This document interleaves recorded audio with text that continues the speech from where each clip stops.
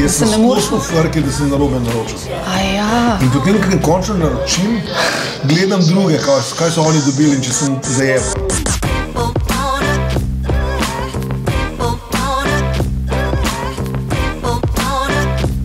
Živeli! Živijo. In en prečudovit pozdrav iz občine Sevnica, v moji družbi pa Ljubljančan in to prečudovit igralec Marko Miladinovič, Jo. ki je še hvala. marsikaj drugega, kot samo igralec.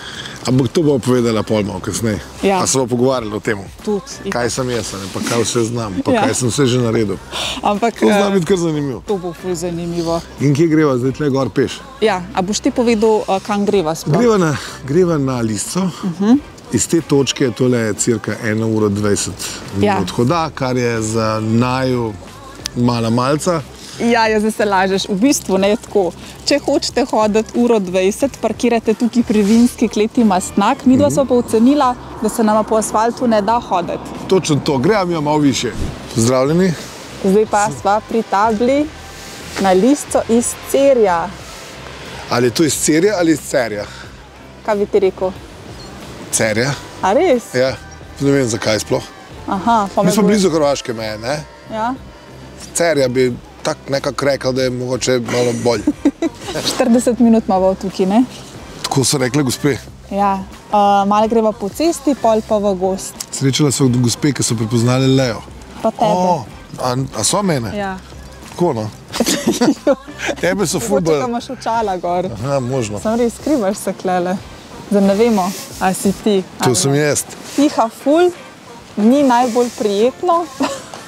Čakaj. Kaj To- je najlažje? Ne, zdaj meni je čist prijetno. Ja, zaenkrat. no, to, mislim, okay, prijetno je zaradi tvoje družbe, ampak malo je mrzlo. No, ne bi rekel, vse to se vam je zdaj ogrela. Tale prvi klan bo že naredil svoje. Poglej to. Ja.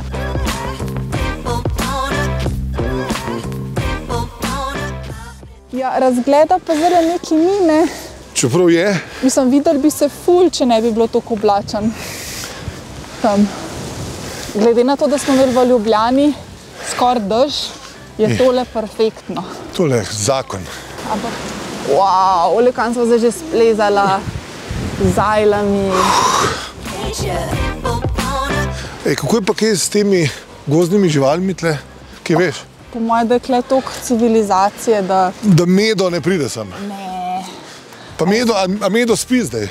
Zimsko spanje je, čeprav po mojem ni več tako, kot je bilo včasih. A misliš, da jim je to spremenil njihov način? A to globalno segrevanje? Ja, mislim, glede na to, da ni snega, zakaj bi medo zdaj šel spat? Sam res, zdaj smo zašla. A veš, ti veljaš res kot tak uh, človek, poln humorja in Ja. navdiha. Pa tako uh, tudi po teh vlogah, a ne. Uh, Kaj te poznam, recimo, dragi sosedje, tam Ja. si bil zelo ljub igralec. Ja, Uh, in tako skozi deluješ tako vedar, pa zašto se. Ja. Pa sem brala en intervju in tudi tvoja žena rekla, ja. da si ti dejansko zasebno še bolj zabaven. Sej veš, kako je, ne? Ne vem, če veš, da to jim povedal. Ja. Uh, vloga hecanga človeka, zabavnega, to, kar ljudje gledajo po filmih, pa po serijah, je načeloma njihova vloga. Se pa kdaj zgodi tudi, da je človek, ki v bistvu igra zabavne vloge, tudi v privatnem življenju zabaven. In ti si tam. Jaz sem tak. To sem zdaj dojela. To so zdaj, ampak so, so redki. Ampak res je pa to, da ta pričakovanja, da bi bil v bistvu zabaven, tudi ven odra ali pa vloge, so tako malo za lase privlečene. Kaj te pa najbolj hitro spravi v dobro voljo? Predvsem me v dobro voljo spravijo zabavni ljudje. Ne samo zabavni v smislu, da govorijo vice, ampak da so zabavno zanimivi. A veš, da lahko nekaj izveš od njih. Ponavadi, velikrat se mi je to zgodilo, so to ljudje, ki so veliko dosegli v lifeu. Ampak tako, na različnih področjih. Tvoj dober prijatelj je tudi Magnifico, ne? Tudi. Ja. On je tako zabaven. On je zelo zabaven, razgledan človek, veliko ve, veliko področji, ki mogoče jim jih ne bi presodil, so mu blizu in ta področja, ki niso niti vezana z glasbo, uh -huh. so lahko zelo zanimiva. Ampak ti, uh, sem mislila, drugač, da si prav bil na AGRFT. Ne, ampak nisem. si mi pa rekel, da ne, pa da te v bistvu najprej ful vlekla ta košarka po višini. Ja. ja bi ti kar pris, prisodila. ne? Ja. Ampak uh, odkje je v bistvu pa pol ta želja za igralstvo? Kdaj? Veš kaj? S, mislim, jaz imam neko notranjo željo po igralstvu, se, se mi zdi že od nekdaj. Aha. In to sem pač kazal tako, da sem nastopil pred svojimi prijatelji. Aha. Šoli, na izletih, ekskurzijah, športnih dnevih se mi zdi, da sem imel skozi glavno vlogo nekoga, ki zabava ljudi. Uh -huh. Sploh nisem to razumel kot poklic, ampak kot poslanstvo. Wow. Pol je pa to nekdo prepoznal. Kdo pa? Ja, recimo moj starejši brat, ki je zvedel za neko skupino, da potrebuje igralce, uh -huh. gledališčko, gledališko, amatersko, grejpfrut. In rekel, da je ti kaj pogledati, po mojem, pa še pripeljati svoje frende, norce. Uh -huh. Tako se je začel. Tam so me sprejeli za vlogo in začeli smo igrati in se potem v tem gledališču 110 let. Wow. Ja, smo naredili deset predstav, več ali manj uspešnih. Očak, da imamo še. Pa ne sploh, Je zajeba, ne? ne, govoriti je težko. Ja, hoditi pa. Hoditi pa govoriti, to pa nikoli ne delam. No, to je pa neki prvič. Uh, Oh, si predstavljaš, da mogo zdaj še igrati, da bi te še snimali. si predstavljaš, ne. Občudujem igralce, ki fizično veliko delajo v, v nasetu. Recimo, kakšen Tom Cruise, ki pol filma prešprinta v enem svojemu Ja, sem zadnjič značilnem. videla, On dejansko skot spadalo, Ja. ja. on je šel zanč. zanč. Zanč. Vse zanč. In pa je dejansko iz klifa skočil in, in uno padalo odprl. A ti do, a bi kdaj vem, vem, da je, vem, da, no, kje. Ampak si opazil, da je zdaj, odkar se je korona končala, Ja. da je vse zanč. Ja. Zanj sem srečal enega prijatelja, kdaj pa sem ga srečal? Čak, Tri leta. ja, tri leta nazaj. Ja. Vse zanč. Korona nas je malo zamaknila. Kar da. Ampak je pa prenesla nekaj novega, saj za me, Kaj? da rad hodim na sprehode.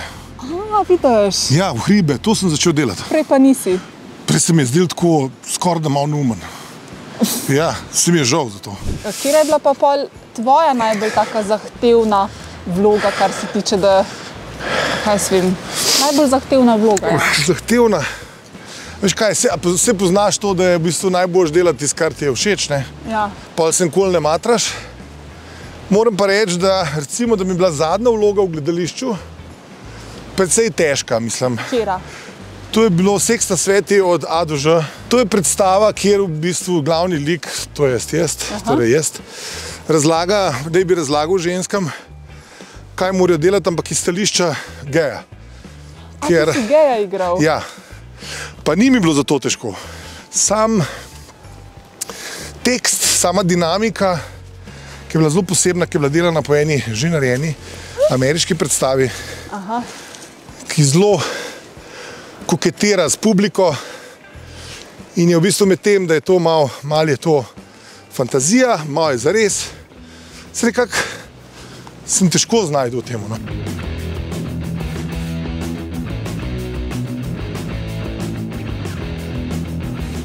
Čevlje imaš čist planinske, Ja. hlače pa glih ne. Pa ne, ne. A veš kva? Razmišljal sem, če bi, ker imam tudi ene take planinske hlače, mislim planinske, kako se temu reče. Ja, Sam se mi zdel, pa se ne greva tako hudo. Zdaj, to je res. nisem hodil, da izpade. Pa Tudi ne bi se počutil zdaj, da sem. Se boljš v kavbojkah. Ja, boš. Pa Cel pa življenje to. sem v kavbojkah. A res? Ja. Kaj pa doma? Trenerke? Začel sem pred ene, od korone naprej. Pač ful sprememb.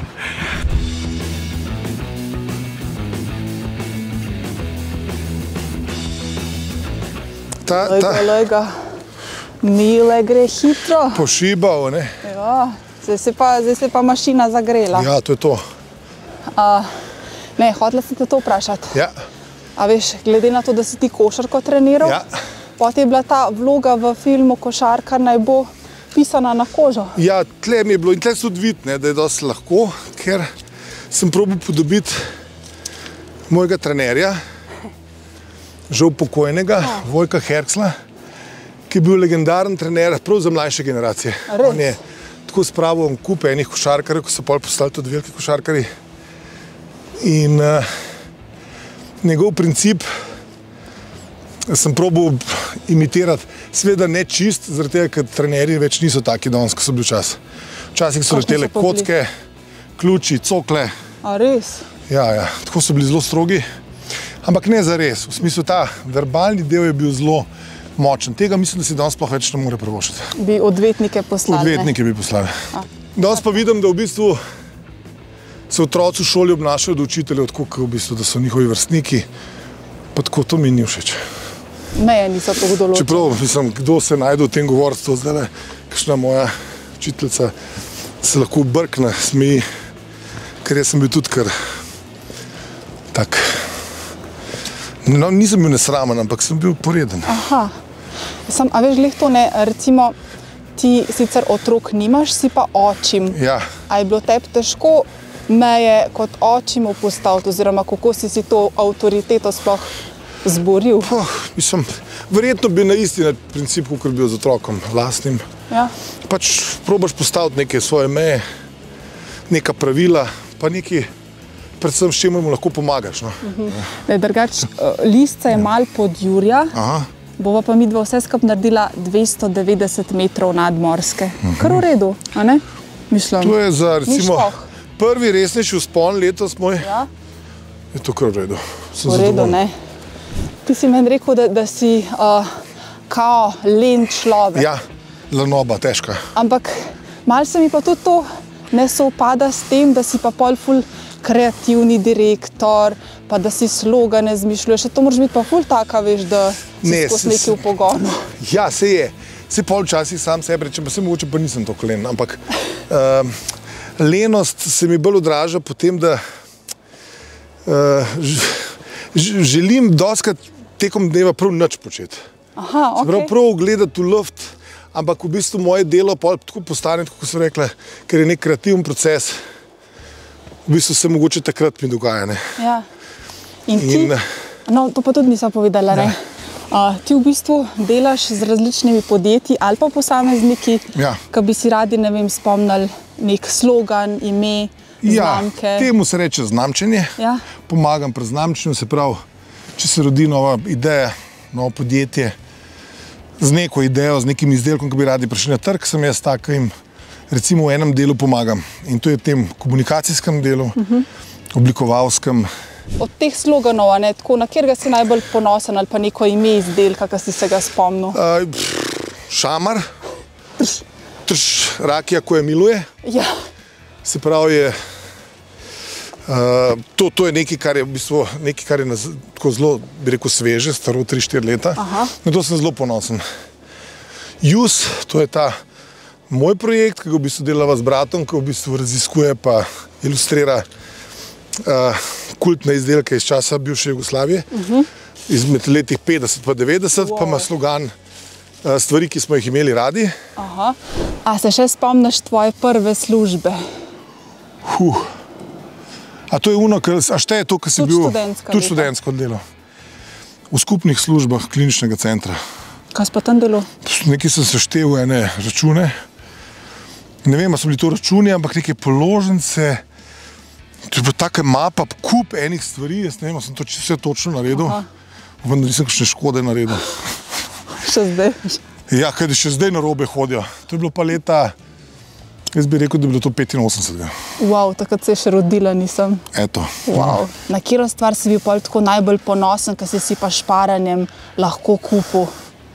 Da ni bilo treba očija pa mamice prositi. Se spomniš, ja. ja. večji izdelek?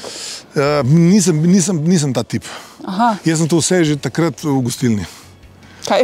Ja, jaz sem šel, meni je bilo, meni je zapil? najbolj zanimivo, ne za pivo, meni je bilo zanimivo že kot mulcu, da sem šel sam v restavracijo. Aha, Se pravi, sem šel prvič v restavracijo, sam, ko sem bil v sedmem razredu, sem prosil starše, če mi dajo denar in da gremo v eno gostilno, krpan je bila čist blizu tam. A ja, in kjer smo živeli? lahko naročil, kar si si To, in da sem šla s frendom sama in da sva si naročila pariške zrezke, pomfri, pa Coca-Cola, pa solato, pa juho, pa pol. Sva se počutila, kot da sva v bistvu odrasla. Ne. To mi je Wow. več pomenilo, kot pa neke neke materialne stvari. No. Aha.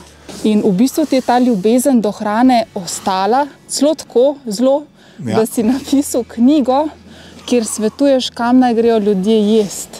Tako je. V Ljubljani, wow. lej, že tako, veš kaj, veš kaj, kot čutim tudi neko poslanstvo v tem, da delam stvari, ki se mi zdi, da manjkajo. Sam sem bil nič kolikokrat v kakšnih večjih mestih in stalno sem se spraševal, kje jejo lokalci, ne turisti. Pa ne zveneča imena, pa ne v nekem pet zvezdic, pa blazne neke revije, ampak kje je v Uniji mileti v Rimu ali pa v Mexico Cityju, kje bi on jedel. In pa sem s to idejo v glavi naredil v bistvu vodič, ki sem ga poimenoval pač uh, uh, Ljubljana Well Done, two local snobs who knows where to eat and drink. Torej, dva lokalna snoba, ni me, ni me, ni me sram priznati tega. Ja. Kje ona dva jesta in s tem v bistvu hotel predstaviti turistom, ljudem, ki prihajajo v Ljubljano, te nam reko glih skrite kotičke Ljubljane, ampak te, kjer, kjer bojo sigurno jedli dobro in ne bojo nategnjeni. Ti si se dejansko čevapčičev res najedel, nekaj ste snimali dve leti serijo, dragi sosedje v Beogradu. Tako je. Kako je bilo tam? Wow. A bi se preselil v Beograd? Ne, to pa ne. ne, ne, ne, ne bi. Ne. Uh, a veš kaj, tudi takrat sem prvič v resnici, polk greš enkrat od, iz, svojega, iz svojega mesta. Jaz bi rekel, predvsem, mene najbolj definira Ljubljana, ne? nisem bi rekel slovenc, bolj sem ljubljančan, se, se okej. razumem, sam sebe dojemam. In šele, ko greš enkrat ven, tako, pa si nekaj časa, pa živiš tisto življenje tam, se pravi, moraš iti tudi na občino, pa moraš iti zrihtati zavarovanje, pa moraš iti v trgovino, pa na tržnico, poln, vse, vse lepo in prav, ampak takrat ti pa začutiš, da ti manjka prostor, na katerega si se navadil, Aha. kjer v bistvu si doma, kjer razumeš. Tam je vse en drugače. Beograd je tako bolj za id žurat. Mislim, ne, ne, malo jaz razumem, Aha. Beograd je, jaz ga razumem tudi kot, mislim, Beograd je vele mesto, to je prvo. Drugo, ljudje, ki tam živijo, tako kot Mile živi v Ljubljani, se imajo tam čist super, da besta, ne. Ampak je težek, za Ljubljančana je to težko mesto za živeti. Tako za živeti življenje v njemu. V drugače sem zaljubljen v Beograd, da se razumemo. Ja, ja, Beograd je moja druga ljubezen. Jaz sem kot mlajši sem si zelo želel, meni se je to ustvarila neka, to je bila neka moja sanja, so bile to, da bi jaz nekoč poživel v Beogradu, pa tam res? In potem je to kar ustvaril. Wow. Ta serija, dragi sosedje, je bila res taka zabavna, odklopil si se, ful ste se dobro, se mi zdi tako ujeli. Ja, ja, dobro. igralci. Dobro, dobro. S to tvojo Marto, ženičko, ženo. To je, to, je, to, je, to je ludnica, kako so bila mi dva res. Uh, uh, mislim, zanimivo je bilo to. In tudi In kot star par Star par, s tem, da je ogrom, mislim, zelo velik, pa ona zelo majhna, ja. je to že samo po sebi uh, Smešno. delovalo hecno. Ampak recimo, ne, Ja. rekel si, da si pa ti v bistvu zbiral ekipo, da ti sploh najprej nisi bil smatran kot igralec. Ja, ja ne, res je. Mene so najeli. Ja. Producent. Kot kreativnega producenta so me najeli in jaz sem bil v bistvu tukaj nekdo, ki sem v prvi vrsti bil predvsem zadolžen, da bi na kup eh, zbral like, ki bi lahko, oziroma igralce, ki bi lahko te like igrali. Ja. Da sem v bistvu najdel nekoga, ki bi lahko predelal to tekst, ker ta tekst je v bistvu. To je uh, serija, ki je bila napisana za, v francoščini in je že v bistvu bila zelo uspešna v Franciji. A to pa nisem vedela. Ja, ja. A, In uh, zdaj mi smo dobili, oni, ki so produkcija, ki je kupila v bistvu to, ko se reče, licenco, je dobila tudi tekste zraven, ne, vseh serij. a ste Ampak mogli pol določ, seveda. Absolutno. Aha. No, Kako si pa ti ta igralec postal Wow, zdaj gre pa že tako, kaj. Uf, po vseh štirih? V iskanju tega lika ne, nikakor nismo prišli do pravega, oziroma smo prišli, ampak ti ljudje niso imeli časa. Ne bom omenil, kje so to imena, ampak tudi su- super znani igravci, odlični slovenski. In na koncu je že toliko časa zmanjkval, da je glavni producent rekel: kva ti boš igral. Sem rekel: Pa kaj s tabo, jaz nimam časa. In tako so se malo začeli pregovarjati. In potem sem jaz se malo zamislil, preračunal in rekel: Čakaj, zakaj pa ne? Pa le, ponuja se ti ti svoj dream, v katerem si sanjal, šel malo v Beograd živeti.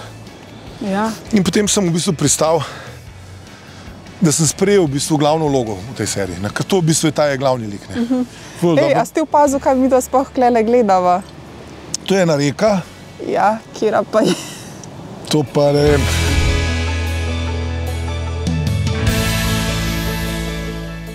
So pogooglala. Ledina je. Ledina je, jaz drugače poznam ledino v Ljubljani, ampak le.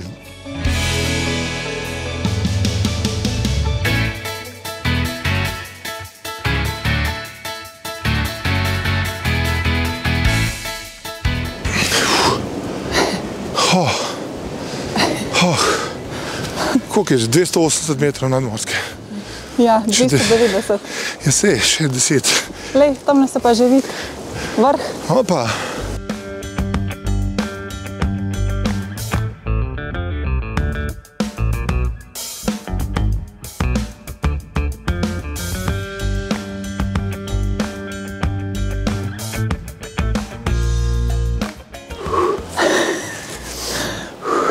Tam je pa za jesti. Wow. Ja, to, to pa ko mi čakaš. Ne. S tem sploh ne morem razmišljati o hrani. Bom pa tam, bod brez skrbi. O, ja.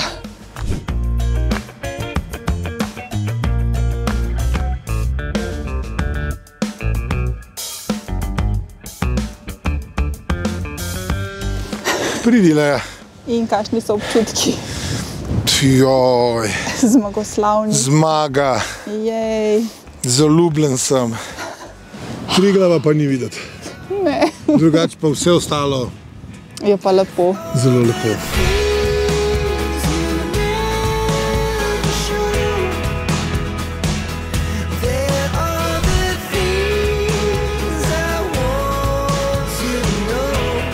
Sem, kar si prej govoril ne, o ljubezni do sebe. Ja, Kje je recimo vrline pa najbolj ceniš prse?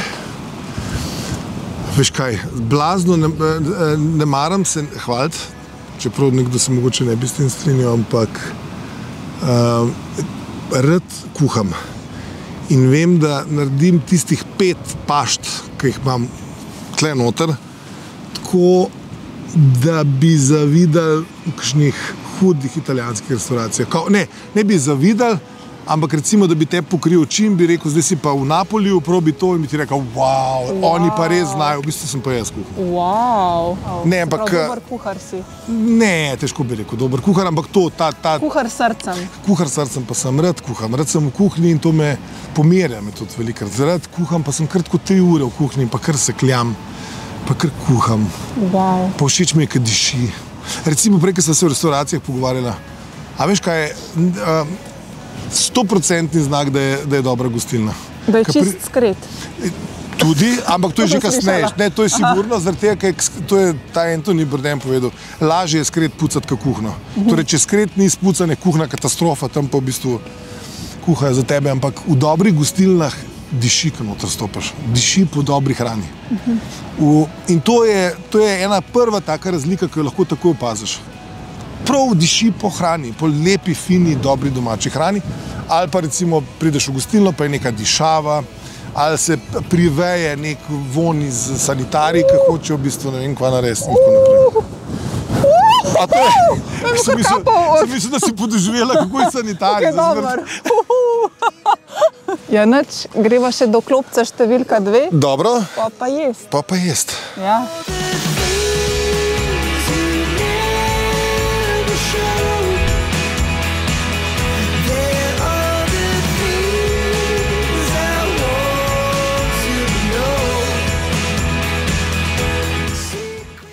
Zdaj smo šla pa še do najvišje točke. Ne? To je pa v bistvu vadbeni center slovenske vojske. Te pa mogoče moramo paziti, da nastopa na kakšno mino. Od nenehi. Ja, seveda, tle so, to je poligon vojaški. Je pa dejno. Tle se oni urijo. Je pa ne eno. Ja. Tu pa ne bi smel kle hoditi. Ja, le, nikoli ne veš, moramo biti vedno pripravljeni. Evo, tukaj je pa razgled na vse smeri.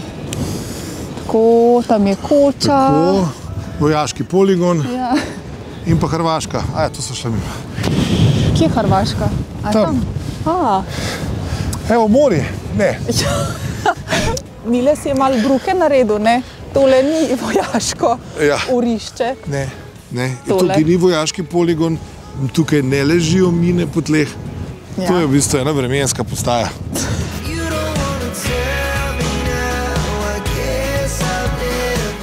No, skratka, tisti, ki bi pa radi samo jedli, pa prišli na razgled, lahko pa pogoljufaš, pa prideš z avtom.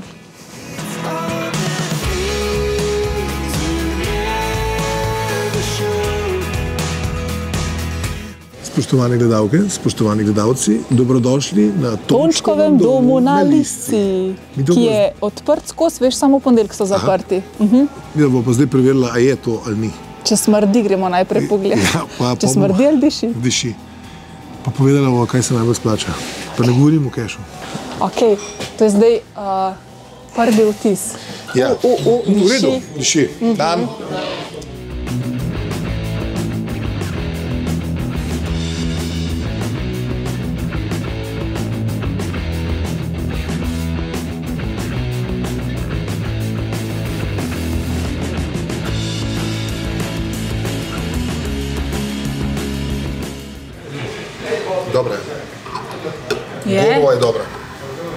Pol je kljukca narejena. Vse je narejeno. Sem prišla zdaj s stranišča. Ja, in Stranišče diši, tako da kljukca dve. imela že Je. dve klukce. Ja. Dve klukce. zdaj pa še Gobova, Gobova je bomba. Se pravi, kljukca tri. Ne? Zdaj pa še jaz probam golaž. Da vidimo zdaj. Oh, Ti pomaga, imaš rad meso, ti bo tale golaž. Um, imamo dva tipa ljudi Ja. pri hranjenju.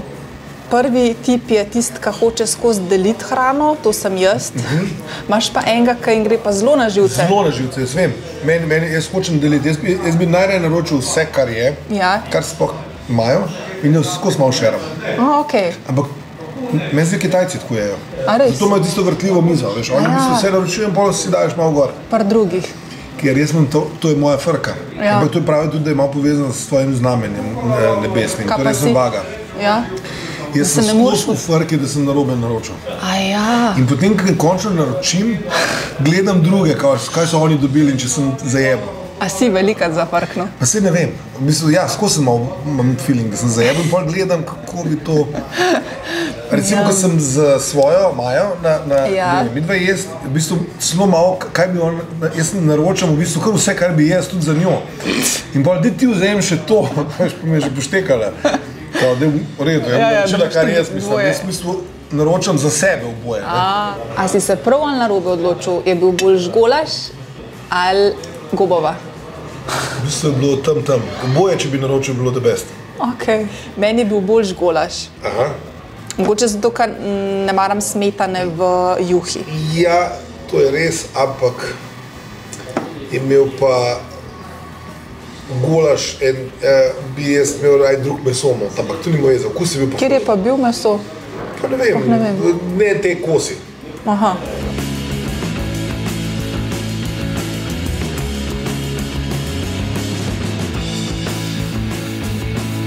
Iz kje pa so te postrvi? Tako, res me čudi, da je v koči možno dobiti ribo. To pa redko doživiš.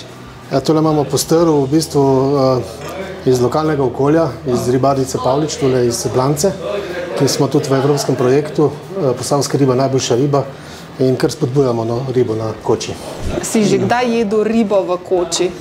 To je moja prva izkušnja z ribo na koči. Ko sem slišal, da je postrl, sem se malo vdahnil. Ker Zakaj? Če, ja, če bi bila morska riba na koči, to je vse. Ja, to je kako res. Morska riba na celini me vedno ustraši. Ampak to sploh ne pomeni, da je, da je slabo. Sem že recimo jedel v Krajinski gori vrhunsko morsko hrano. A res? Mogoče med boljšimi v Sloveniji. Wow. Riba mi je všeč, mi pa ni všeč krompir. Jaz bi imela raje kakšnega praženega, ampak le, eni imajo pa radi to. Ja. Tole je Jurko Prženjak, uh, iz, uh, ki ga strežemo v kahli. Zdaj sva pa oba že probala, carski praženc oziroma po naše šmoren. Uh -huh. In sva oba ocenila, da je to najboljše od vsega, tako da če pridete sem, morate obvezno naročiti to. Carski praženec oziroma Jurko praženjak. Pa ta marmelada, brez Marme- marmelade ne bi bilo to to. Ne, pa marmelada, jaz mislim, da je slivova, je pa iz Jurke. Grozdje, ne? Ja. Uh, Uh. piha pa še zdaj. V gostilni smo se pogovarjali, da, da te ljudje včasih prepoznavajo tudi, da si ti dobra vila. Aha, ja. Nekaj si kao podoben unmu iz uh, reklame o dobrih vilah. Mislim, ja, povezovali so nas zaradi tega, ker je ta skupina cela v bistvu z, um, baza teh ljudi je Greyfruit, uh, gledališče, Aha. kjer smo mi v bistvu Ljubljanski off teater, ki je delal deset let, kot tako zelo zanimive predstave. No, potem so nas začeli malo potem tudi za filme klicati in potem je prišel film Jebiga, uh -huh. potem je prišel film, oziroma prej so bile še te dobre vile. In uh, so to ljudje pač malo povezali skupaj. Ja. Tako da so v bistvu potem te, tega glavnega junaka, živijo, tega glavnega junaka iz reklame Dobre vile. So pa kar z mano povezali, tako da so kar mene začeli že dobro vila klicati in nekaj cajt sem se celo branil. Ja, pa si bil pa ti v bistvu še v eni reklami uh, za srečke. ne? No, to je bilo trikrat tri. Ne, v reklamah sem bil full. Ja. Uh, pol prej je bila še Joško, ti si naš najboljši prijatelj, bila tudi A, loterija. ja. Pol so bile za športno loterijo, so bile tudi uh, Dorne skačeni slovenci. Uh Mhm. -huh. Smo bili v ženske oblečeni, ne vem, če se tega spomniš. Trikrat tri. No, po kateri recimo vlogi te pa tako največkrat prepoznajo, pa rečejo, a ti. Jebi ga pa Šiška Deluxe. Pa ne, pa otroci pa košarkar. Otroci pa absolutno košarkar, ker me otroci vidijo, so pa čist happy. O. Lega trenerja. A res.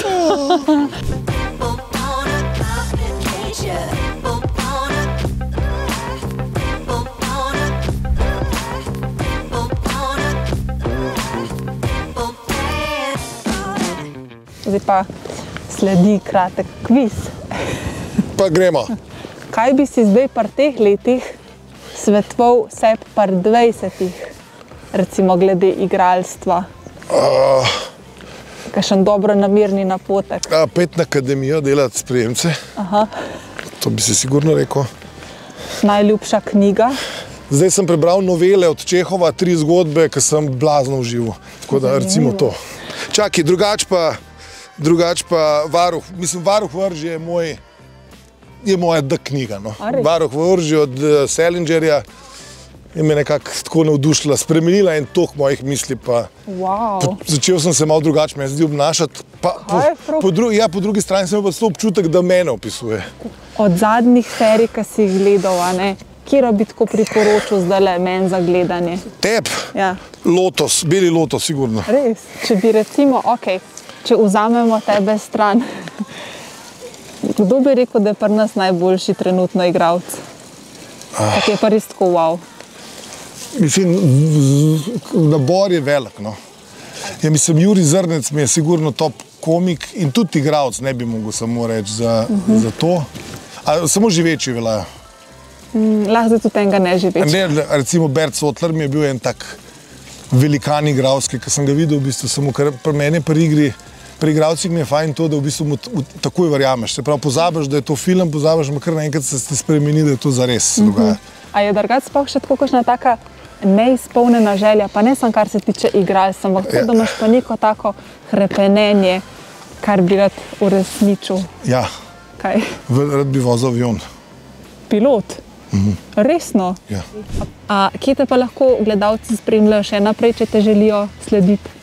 Na mojem Instagramu. Delam kratke zgodbe, aj čau.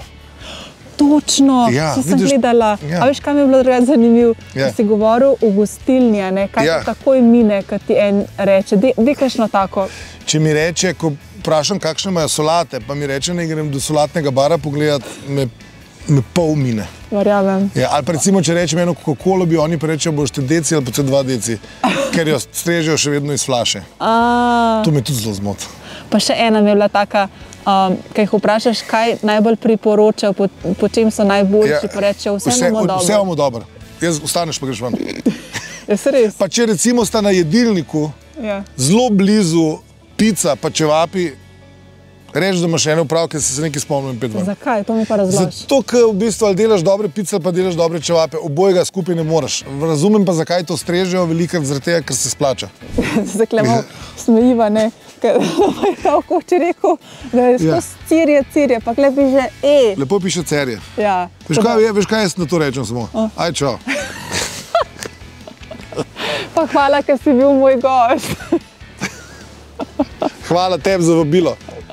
Res je bilo dobro. Če, če nas pa želite videti še naprej, vidimo se na listi ali pa na kakšni predstavi. Tako. Ajde, čau, čau. Čau, čau.